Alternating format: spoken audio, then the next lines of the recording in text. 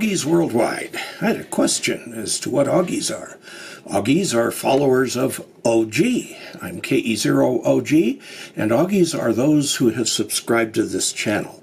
There are almost 64,000 Augies out there. So if you're not yet subscribed to this channel, go ahead and do so. I'm Dave Casler, amateur radio call sign KE0OG, and today we're going to start a little bit of testing of the D578 UV radio. Uh, this comes to us from Bridgecom Systems. Bridgecom Systems is a repeater builder and also a dealer for some of the uh, Anytone radios, particularly the DMR radios. The reason it's important to know about Bridgecom Systems is because they are the only supplier in North America that provides extensive support, including video courses on how to use DMR, how to set up your radio, how to set up code plugs. They even have code plugs that may be pre-built for your area, so you should check with them. And you get it the same price as you're going to get anywhere else, and all of this service is free. So they, of course, can only support people who buy through them, but uh, that would be a very good reason to do that. And they do have this radio now in stock, the D578 UV3 Pro with Bluetooth. It's got I'm looking to see where it does the dinner dishes. I haven't found the menu item yet, but I know it's there. Now, I'm going to just get a few things set up. We're going to download the customer programming software, and we're going to read out the factory settings that are in the radio. And that's all we'll do today. We'll just keep this short. This is another daily special from KE0OG to you to help us keep us all occupied while we're all locked indoors. But you know one thing that works from indoors? Ham radio.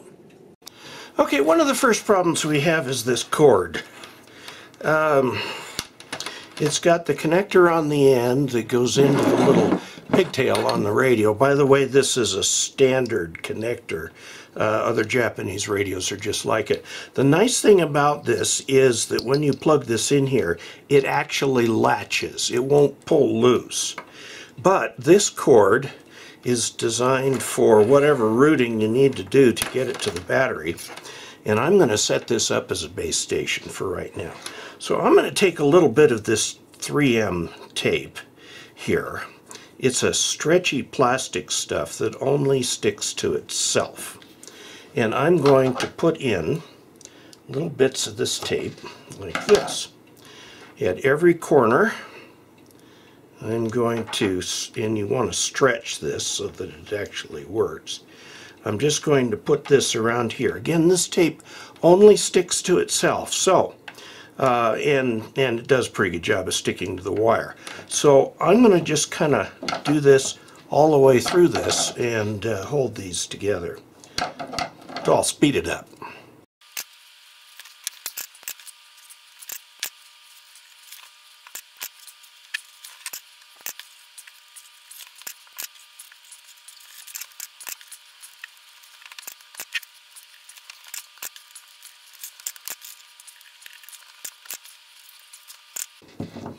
Yeah, that took about that much of the tape. That's not bad. This stuff's not sticky, and because it's not electrical tape, it will not become sticky. That's the problem with doing it with electrical tape. Anyway, this is much more manageable than it was here. So I'm going to leave the radio right here, and I'm going to plug this in, and this is going to go over to my power distribution system. So allow me. Okay, so we're looking at my station right here. Here's the radio. Here is the cord, and it's going to go around over to the back. Let's take a look at what's around back. Okay, this is the back of my station, my exercise right there. Fan to keep me from sweating too much. And here is the incredible mass of cables that is behind my station. Now, pardon the jiggling. What I have over here is a, a power outlet with lots of outlets for all the things that need 110 volt power. here in the middle is my station ground, right here. Okay, and various things in the shack are grounded to it. And then right here is the power distribution system. Now I got this quite some time ago, and it's the Rig Runner 4012, meaning 12 outlets, 40 amps total. And I have discovered that that's gross overkill. Now we're going to add something like this to the reference station, but not this big one. Okay, we're going to pick one. Now the input voltage right here comes from the main station battery, which is down here. And that, by the way, is fed by another source over there, where my main batteries are.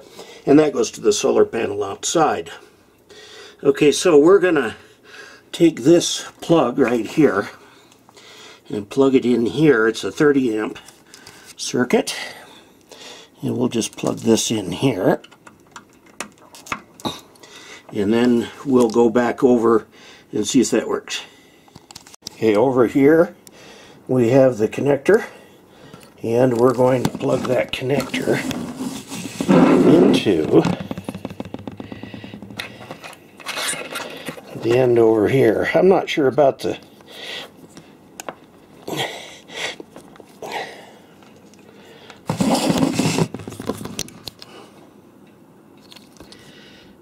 Oh, that's interesting.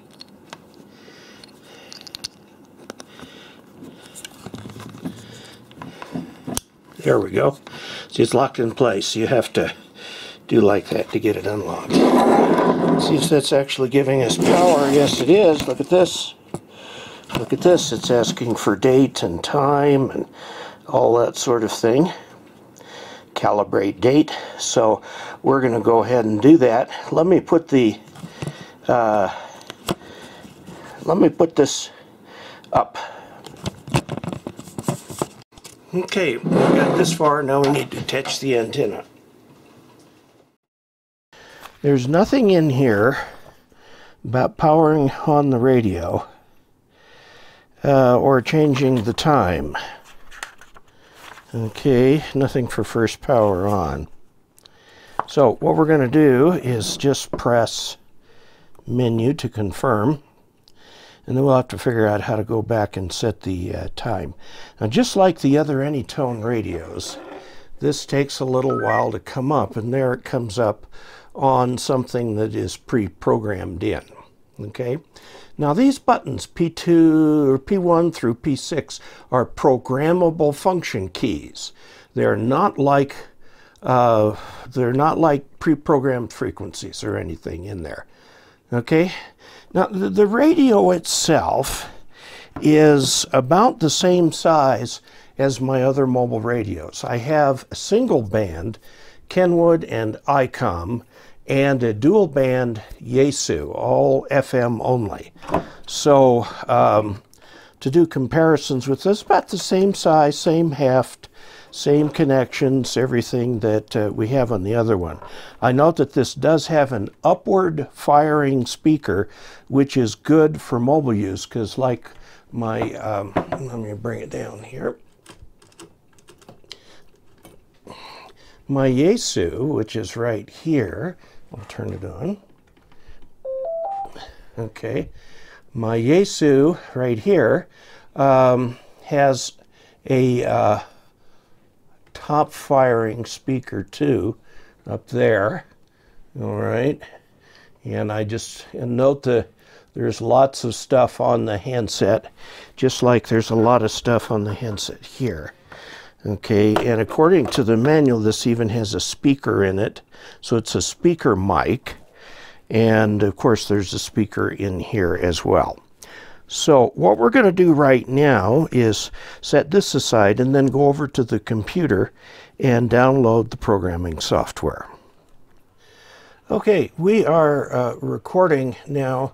This is Bridgecom Systems, uh, bridgecomsystems.com. Okay, all one word. Uh, there's all different kinds of things that they have here that will help you understand DMR and so on. And this, of course, right here is the radio that we're looking at. Uh, it's got 45 watts on UHF, 50 on VHF. That's 70 centimeters, 2 meters, and 5 watts on 220, which is 1.25 meters. Uh, the fact that it's just 5 watts on that makes me think that uh, this band has been added as uh, a marketing advantage, which is nice. I'm happy to see more use of that. It, it says, click here to order now. It shows you uh, the price for this. If you were to order this at, at, Ham Radio Outlet, you don't get the Bridgecom University. You don't get all of the support. So that's why I suggest you do it from Bridgecom Systems. We'll just look at some of the little pictures here and the different uh, things, that ways you can mount it and so on. Um, and uh, so, oh well, interesting point. It comes with this little push to talk button. And here's the microphone and and uh, uh, a video about the unboxing. I just did a, a video on the unboxing.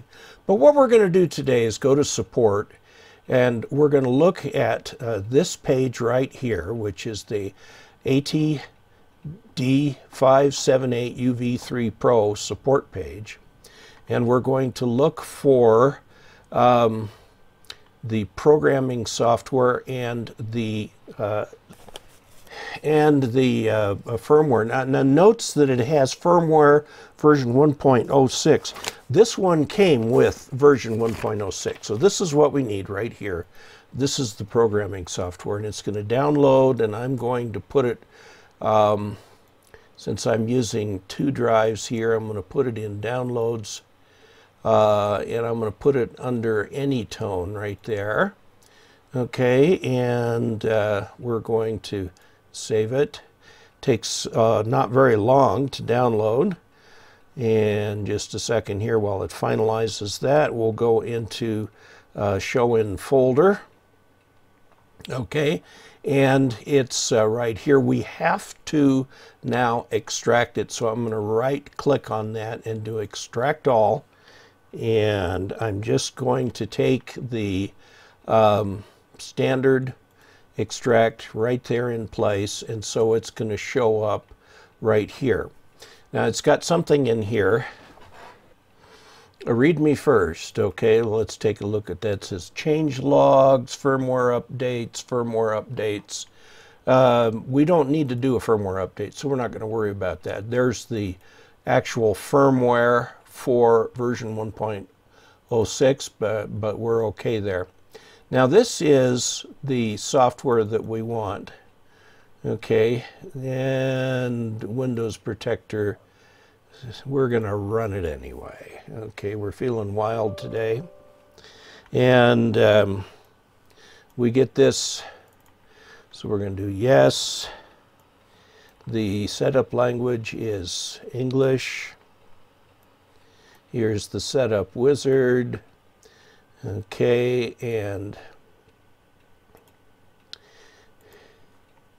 I'm going to create a desktop icon because I'm going to need that. I'm going to do an install.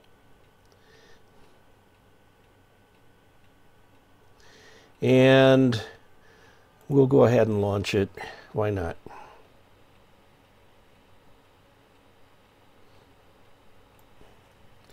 Okay, and there it is. Now I'm going to switch over to just this thing right here and uh, then we're going to uh, attach the programming cable. You normally want to get the software in place before you attach the programming cable. This is not what's in the memory. This is just a couple demonstration kinds of things here. We're going to download what's in the memory. Okay, let's get out the programming cable, which is this one right here. Need to undo this.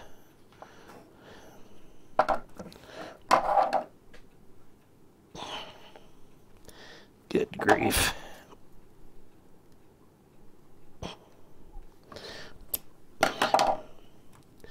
All right. Yeah they don't give you a whole lot of room. This goes over here on the side right here. Is where the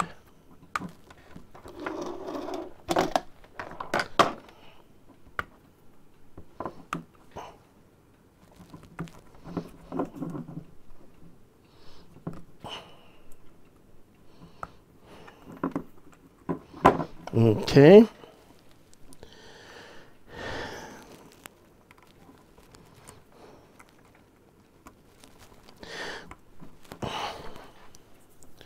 Okay, now I'm going to, oh, look at the mess my desk is in. By the way, that's the recorder for the audio, and that's the receiving unit. So we're going to just put this in right there. Okay, and we're going to go over here and take a look at what happens. Um, I'm going to come down here and look at device manager and look at ports COM3 it says okay well let's go up here to the software and go uh, set COM we're going to go with COM3 and now we're going to go program read from radio read do you wish to continue of course I do uh, I don't want the digital contact list. I just want the other data. And look at that. Man, first try. First try. So now I'm going to switch to what's up here. And we'll explain what's in here, okay? Okay, now this is what we have uh, downloaded from the radio, okay? Um, we'll go up through here, File, this is open and save has to do with between the computer and this screen. It has nothing to do with the radio. Save as, you can give it a name, okay? Uh, new gives you a new screen. It, it just clears everything. Oh, wow, what a whirlwind. There's a lot of stuff to learn about this radio. This is just the beginning. We're going to go through this in a little bit more organized fashion, but I just wanted to give you a little bit for your Thursday update. While the whole country is locked in, they just issued the lockdown order for Colorado uh, this morning. And uh, so we're sticking to home, which we were anyway. Um, and we'll learn more about this radio, but maybe a little bit more leisurely impact. Now, if you'd like to learn more about the D87, the D578UV 3 Pro Plus, uh, and it's got Bluetooth, um, go to Bridgecom Systems, please. They're the people who provide support for these radios. Other vendors can't provide the same level of support. And I've got my horn here. You ready? I'm going to toot my own horn. Please go to uh, dcasler.com slash support for various ways that you can support this channel. And thank you to all of you who have been doing that. By Oh, let's see. That's the end of my horn tooting. Um, and Augie is going to be teaching me uh, ground school for Sport Pilot, and we're going to start that soon. Uh, of course, I can't do any flying lessons because we've got this stay-at-home uh, order right now, but I can do ground school via Skype. And so I say a great thank you to this Augie, and uh, who's been a long time supporter and patron, and uh, this should be fun. But I will bring you a video every day about ham radio as long as we're going through this. Remember, if you can't go outside, your ham radio signal can. So let's get on the air until we next meet 73.